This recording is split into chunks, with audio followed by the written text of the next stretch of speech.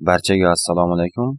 Bugun sizlar bilan beshinchi sinf darsligimiz bo'yicha uchinchi darsimizni boshlaymiz. Bugungi o'tadigan mavzuyimiz o'simliklar sistematikasi. O'simliklar sistematikasi haqida gaplashishimizdan oldin avvalambor sistematika nimaligini bilishimiz kerak. Sistematika nima? Sistematika tirik organizmlarni o'xshash belgilari va qon qarindoshligiga ko'ra guruhlarga bo'lib o'rganuvchi fan hisoblanadi. Demak sistematika o'simliklarni guruhlariga bo'lar ekan bu sistematika faniga juda ham ko'p olimlar hissa o'z hissasini qo'shgan. Bulardan asosan karl linnening sistematikasi bizda ko'proq ishlatiladi. Karl linne o'ziga xos sistematik jadval yaratgan bo'lib bunda o'simliklarni guruhlariga bo'lgan ya'ni o'rganishli guruhlarga bo'lgan. Endi biz shu guruhlarni biz sistematik birliklar deb ataymiz. Demak eng kichik sistematik birlikdan eng katta sistematik birlikkacha ko'rib chiqamiz. Biologiyada ya'ni o'simliklar dunyosida eng kichik sistematik birlik bu tur. Ya'ni har qanday o'simlik tur hisoblanadi. Turlar yig'ilib turib turkumni turkumlar yig'ilib oilani oilalar yig'ilib sinfni sinflar yig'ilib bo'limni va bo'limlar yig'ilib turib o'simliklar dunyosini yoki florani tashkil qiladi. Demak sistematik birliklar xuddi shunday ketma ketlikda bo'lar ekan. Eng kichigi tur eng kattasi esa dunyo yoki flora bo'ladi. Ana endi o'simliklar dunyosini guruhlarga bo'lamiz. Demak o'simliklar dunyosi bu eng katta sistematik birlik. Biz o'simliklar dunyosini o'rganayotganimizda avvalambor ularni to'qimi organlarini rivojlanganligiga qarab turib ikkita katta guruhga bo'lamiz.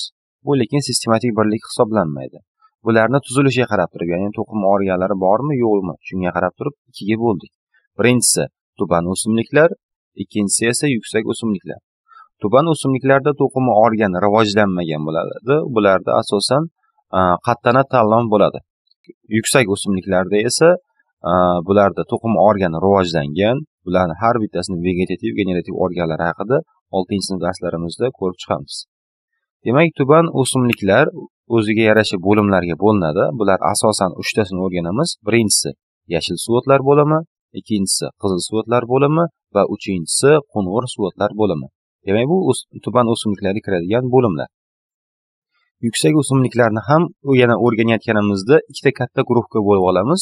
Chunki bu yuksak o'simliklar juda ham xilma xil asosan bularni turlari ikki yuz ellik mingdan ziyod ya'ni ko'proq bo'ladi. Shuning uchun bularni tuzilishi va tarqalish usuliga qarab turib ikkiga bo'ldik. Bular yuksak sporali o'simliklar va yuksak urug'li o'simliklarga bo'linadi. Sporali o'simliklarni biz juda ham yaxshi bilamiz. Bularga asosan yo'sinlar qirqbog'imlar va qirqquloqlar kiradi. Bu yerda toifa degan qo'shimcha qo'shilyapti. Yo'sin toifa degani yo'sinlar bo'limi degani ya'ni bo'limni qo'shimchasi toifa hisoblanadi. Ana endi urug'li o'simliklarni ham ikkita katta bo'limi bor. Bular qarag'ay toifa va magnoliya toifa yoki qarag'ay toifa o'rnida ochiq urug'lilar magnoliya toifa o'rnida yopiq urug'lilar iboralari ishlatiladi. Ikkalasi ham asosan bir xil ma'noni anglatadi demak o'simliklar sistematikasini eng sodda holatda shunday guruhlarga bo'lar ekanmiz. Hozir biz dunyoni guruhlarga va bo'limlarga bo'ldik. Endi har biri bilan tanishib chiqamiz. Sistematik birlikni yanada yaxshiroq tushunishimiz uchun bitta o'simlik misolida uni eng kichik sistematik birlikdan eng kattasigacha olib chiqamiz. Demak o'simliklardan birorta o'simlikni misol keltiramiz. Mana bu sistematik birliklar mana ko'rdik. Tur turkum oila sinf. Sinfni bundoq ichida ko'rgan bo'lsangiz ajdod deb yozib qo'yganman. Ya'ni sinf o'rnida ajdod kelsa bu sinf bilan sinonim ya'ni o'xshash bo'ladi. Bitta ma'noni anglatadigan so'z. Hop bo'lim va floralarga bo'lindi. Biz shunaqa ketma ketlikda makkajo'xori o'simligini sistematika qilib ko'ramiz. Sistematika qaysidir o'simlikni sistematika qilish klassifikatsiya deyiladi. Ya'ni klassifikatsiya bu aslida ruscha so'z guruhlarga bo'lish degani demak eng kichik sistematik birlik ya'ni tur makkajo'xori turkumi johori turkumi oilasi bug'doydoshlar oilasi sinf lolasimonlar yoki bir urug' pallalilar sinfi bo'limi magnoliya toifa yoki gulli o'simliklar bo'limi va dunyo flora ya'ni o'simliklar dunyosi ekan. Demak makkajo'xori xuddi shunday sistematik birliklarga bo'linar ekan. Ana endi tuban o'simliklar haqida gaplashsak. Keling tuban o'simliklar haqida umumiy ma'lumotlarni bilib olamiz. Tuban o'simliklarni algologiya fani o'rganadi ya'ni tuban o'simliklar bular suvotlar hisoblanadi. Bular barchasida plastida bo'lmaydi. Bularni o'rnida xromatoforlar bo'ladi. Xromatoforlar aslida plastidaga o'xshagan tuzilgan hujayra ya'ni o'simliklar hujayrasida tuzilgan e, organoid hisoblanadi. Bularni tarkibida pigmentlar bo'ladi. Ularni tanasi aytganimizdek to'qima organlarga bo'linmaganligi uchun qattana yoki tallom deb ataladi. Qattana aytganimizdek ildiz poya bargni o'rnida bosuvchi bir tana hisoblanadi. Bu qattana tanasi bir xil tuzilgan hujayralardan iborat bo'ladi. Shuning uchun mana rasmni ko'rgan bo'lsangiz deyarli barcha hujayralarni tuzilishi bir xil va ularni tarkibida aytganimizdek xromatofor bor. Ya'ni har bir hujayrada xromatoforga ega. Ana endi bu tuban o'simliklarni bo'limlarini har bittasiga kiradigan vakillari bilan ko'rib chiqamiz. Demak uchta bo'lim bor edik. Bular yashil o'simliklar yoki yashil suvotlar qizil suvotlar va qo'ng'ir suvotlar. Yashil suvotlarga kiradigan o'simliklar ikki guruhga bo'linadi. Bular bir hujayrali bo'lishi mumkin va ko'p hujayrali bo'lishi mumkin. Keling birinchi bir hujayralilarni ko'ramiz. Bularga xlorella va xlamida monada bir hujayrali suvotlari kiradi. Ana endi ko'p hujayrali suvo'tlarga esa ulotrix spiragira kladofora hara va dengizlarda uchrovchi ulva suvo'tlari kiradi. Ularning barchasi yashil suvot faqatgina xlorella bilan xlamidamanada bir hujayrali qolganlari esa ko'p hujayrali qizil suvotlarning barchasi ko'p hujayrali suvotlar hisoblanadi bularga asosan nemalion porfira va filofora o'simliklari kiradi. Bularni tanasi asosan qizil rangli pigmentlarga ega bo'lganligi uchun qizil suvotlar deyiladi. Qo'ng'ir suvotlarga esa yapon laminariyasi va fukus degan o'simlik kiradi. Fokus o'simligi sizni hozirgi kitoblaringizda bo'lmasligi mumkin lekin yangi darsliklarda bu o'simliklar kiritilgan demak bu ham qo'ng'ir suvotlarga kiradi. Keling endi har biri bilan qisqacha qisqacha ko'rib chiqamiz. Birinchi bir hujayrali suvotlar bilan tanishamiz. Demak xlorella va xlamida monada mana bularni rasmlari bilan ko'rsatib qo'yganman. Ko'rgan bo'lsangiz bularni bir biridan o'xshashligi va farqlari bor. Endi xlorella va xlamida bir biriga o'xshash qismlari bular. Yaxshilab qaraydigan bo'lsangiz uni tashqi tarafdan qoplab turadigan hujayra qobig'i mana xlorellada ko'rsatib qo'yilgan mana to'rtinchi raqam mana tashqi tarafda qoplab turgan. Endi xlamida ham bu qobiq bor. Bu qobiq bunda uchinchi raqamni bergan mana. Demak xlorella bilan xlamida birinchi o'xshashligi hujayra qobig'iga ega. Endi ikkinchisi barchasini tarkibida sitoplazma bo'ladi. Mana ichki suyuqlik mana birinchi raqamda bergan. Mana birda bergan. Mana bu xlamida manadada esa oltinchi raqamda bergan.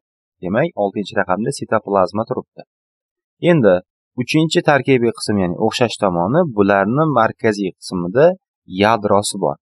Yadro xlorellada uchinchi raqamda bergan. Mana xlamida manada esa beshinchi raqamda bergan. Demak yadrosini borligi hujayra qobig'ini bo'lishi sitoplazmasining bo'lishi va to'rtinchi umumiylik yaxshilab qaraydigan bo'lsangiz mana bu alohida qora chiziq bilan chegaralangan yashil qism bu ikki bilan bergan xromatofor ya'ni xromatoforga ega hattoki bularni shakli ham bir xil. Mana xlamidamanada ham berilgan to'rtinchi raqamni qarasangiz xromatofor ya'ni shakli ham vazifasi ham bir xil. Xromatoforni ikkalasini ham tuzilishi e, kitoblarda testlarda bersa kosa shaklida yoki kosasimon deb ataladi. Yaxshilab qarasangiz haqiqatda kosaga o'xshaydi. Demak bularni xromatofora kosasimon desa xlorella va xlamidamonada uchun umumiy bo'ladi. Demak to'rtta umumiylik bor ekan xlorella va xlamidamonada uchun. Hujayra qobig'i uni sitoplazmasi yadrosi va xromatofori shu ikkita suvotda ham bor. Ana endi bir biridan farqi. Xlorellani xlamidamonadan farqlash uchun xlamidamonadagi ortiqcha qismlar ya'ni xlorellada uchramaydigan qismlarni bilib olsak bo'ldi. Demak ularning birinchisi xlamidamonadada xivchillarning bo'lishi. Xivchillari ham e'tibor bergan bo'lsangiz ikkita. Demak birinchi raqamni bergan. Ikkinchisi mana bu ikkinchi raqamni bergan bu qizil ko'zchasi demak qizil ko'zchasi o'simliklarni shu xlomediamonadani tashqi muhitni sezishini ya'ni ta'sirlanishini ifodalab beradi. Bu ikkinchi farq bo'ldi. Endi uchinchi farq. Mana bu yerda yaxshilab qaraydigan bo'lsangiz yettinchi raqamda qisqaruvchi vakuola berib qo'yilgan. Qisqaruvchi vakuolasini bo'lishi bu uchinchi farqi. Demak xlamida monadani xloreladan farqlari. Birinchisi xivchillarga ega qizil ko'zchaga ega va qisqaruvchi vakuolga ega. Bu uchta tarkibiy qism xlorelada uchramaydi. Mana taglariga chizib qo'yilgan holatda mana ko'rsatdim. Bir ikki yettinchi raqamda ko'rsatilgan. Tushunarli ana endi davomi ko'p hujarali svodlardan asosan yashil svodlardan ko'ramiz. Birinchi sizlarda bergan lotrix haqida gaplashamiz. Lotrixni mana rasmda ko'rsatib qo'yilgan bo'lsa qarasangiz buni aslida to'liq nomi belbog'li lotrix deyiladi sababi mana ikkinchi raqamda qarasangiz buni e, xromatofori berilgan yaxshi yaxshilab qarasangiz tasma ya'ni belbog' shakliga o'xshaydi. Shuning uchun xromatofora ham belbog' shaklida nomi ham belbog'li lotrix. Ana endi tanlomi bularniki shoxlanmagan. Endi rizoy itli hisoblanadi bu. Sababi bularni tanasi qaysidir suv e, suv tubiga toshlarga birlashtirish kerak. Rizoid xuddi shu vazifani bajarib beradi. Qulay sharoitda lotrixlar jinsiz va noqulay sharoitda jinsiy ko'payadi. Ularni ko'payish usuli haqida batafsil keyinroq gaplashamiz. Demak shu umumiy xususiyatlar lotrixda uchrar ekan endi shuni sherigi bor bu spiragira. Spiragirani lotrixdan farqlari buni xromatoforda ham yaqqol namoyon. Xromatoforni qarasangiz spiral shaklda bo'ladi yoki spiralsimon bo'ladi. Tanlomi bularda ham shoxlanmagan bu umumiylik lekin buni rizoidi bo'lmaydi. Ya'ni bu suv yuzasida yoki suv beti bo'ylab suzib erkin harakatlanib yura oladi. Shuning uchun bularni rizoyati yo'q. Va spiragirani ko'pincha xalq tilida baqaton ham deb ataladi. Ya'ni baqatonlar bu aslida spiragira ya'ni yashil suvotlarga kiradi. Bu ham lotrix kabi qulay sharoitda jinsiz noqulay sharoitda jinsiy ko'payadi. Demak ko'p hujayli suvotlarga shularni misol keltirsak bo'ladi. Ana endi qo'ng'ir va qizil suvotlar haqida gaplashsak. Birinchi qizil suvotlardan porfir haqida gaplashamiz. Buni mana rasmda ko'rgan bo'lsangiz yaxshilab qizil rangga yoki pushtisimon rangiga sababi buni xromatofor tarkibida antotsian pigmenti bor. Antotsian pigmenti bu o'sha o'simlikni hujayrasiga qizil rangni beradi ya'ni qizil pigment hisoblanadi. Shuning uchun bu porfira qizil rangga ega yoki qizil rangda ko'rinadi. Endi tanlomi bir qavat hujayralardan tashkil topgan faqat bu porfira uchun xos fikr chetlari yaxshilab qarasangiz kungirador shaklda mana no bo'rtib bo'rtib yoki alohida bo'rtib chiqgan joylari bor. Va qattanasi juda ham uzun emas bir metrgacha boradi xolos. Va buni ikkinchi nomi dengiz salati deyiladi. Bu asosan sharq mamlakatlarida suv o'tlaridan ya'ni porfiri iste'mol qilinadigan o'simlik bo'lganligi uchun dengiz salati sifatida ishlatiladi. Asosan bu koreya yaponiya mamlakatlarida ishlatiladi. Ana endi laminariya haqida gaplashsak. Laminariya qo'ng'ir rangli suv mana ko'rgan bo'lsangiz qo'ng'ir rangda va uni bo'yi porfirga nisbatan uzunroq olti o'n ikki metr eni esa o'n yetmish besh santimetrgacha yetib boradi. Bular ham porfira kabi dengizlarda uchraydi. Tanasi yuqori qismini yaxshilab qarasangiz tasmasimon bo'ladi. Endi pastni qarasangiz novsimon yoki silindrsimon shaklda. Mana alohida bu tasmalarga o'xshab bo'linmagan. Va tarkibida bularda juda ham ko'p yod moddasi bo'ladi. Shuning uchun buqoq kasalligini oldini olish uchun laminariy o'simligidan dorilar tayyorlashda juda ko'p ishlatiladi va buni nomi dengiz karamasi sifatida keng tarqatilgan. Ya'ni porfira va laminariya sharq mamlakatlarida ko'p iste'mol qilinadi. Shuning uchun porfira dengiz salati laminariya esa dengiz karami nomi bilan mashhur hisoblanadi. Ana endi suvo'tlarni ko'payishini lotrixning ko'payish usullari misolida ko'ramiz. Lotrixda qanday ko'payish usullari va nimalar hosil bo'lsa barcha ko'p hujayrali suvo'tlarda ham xuddi shunday jarayonlar ketadi. Demak lotrix aytganimizda ikki xil ko'payardi bu jinsiz ko'payish va jinsiy ko'payish. Jinsiz ko'payish aytganimizdek qulay muhitda jinsiy ko'payish esa noqulay muhitda bo'ladi. Odatda jinsiz ko'payish bahorda jinsiy ko'payish esa kuzda bo'ladi. Jinsiz ko'payish juda ham sodda. Demak jinsiz ko'payayotganda ulotrikis bitta zospora hosil qiladi. Ya'ni zosporalar hosil qiladi bir birligini ko'ryapmiz. Endi bitta zosporadan odatda bitta yoshib hosil bo'ladi.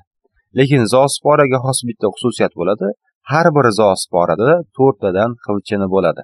Demak to'rt xivchilli bitta zosporadan bitta yoshib hosil bo'lar ekan. Demak bu bahorda. Ana endi jinsiy ko'payish biroz murakkabroq bo'ladi. Bunda ikkita jinsiy hujayra ya'ni izogametalar bir biriga qo'shiladi. Bularga xos xususiyat bularda ham xivchillari bor.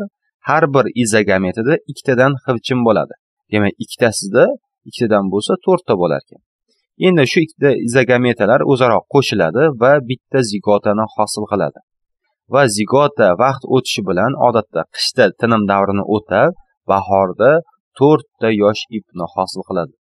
Demak to'rtta izogametadan bitta zigota undan esa to'rtta yosh ip hosil bo'lar ekan. Bu ulotriksning jinsiy ko'payish sikli. Shular bilan o'simliklar dunyosi haqidagi ma'lumotlarimiz hozircha to'xtatamiz. Keyingi darslarimizda yuksak o'simliklar haqida gaplashamiz. Ana endi blitz savollarga o'tamiz. Blitz savollarimiz o'tgan safar ko'rganimizdek savollarni aytaman. Siz javoblarini topib kalit so'zni kommentariyalarda qoldirishingiz kerak bo'ladi. Demak birinchi savolimiz. Quturish virusi qaysi tirik organizmlarda uchraydi? Xromatofori belbog' shaklida bo'lgan suvot qaysi? Makkajohori qaysi turkumga mansub? Suvotlarni o'rganuvchi fan qaysi? Qaysi o'simliklarning to'qim organlari rivojlangan bo'ladi? Suvotni suv tubidagi birlashtiruvchi qismi va sinf sistematik birligining ikkinchi nomi nima deb ataladi? Demak blitz savollarimiz shular. Siz shu savollarga javob toping va bosh harfidagi kalit so'zlarni birlashtirib topib kommentariyalarda qoldiring. Darsimiz yoqgan degan umiddaman. Keyingi darslarda ko'rishguncha sog' bo'ling salomat bo'ling.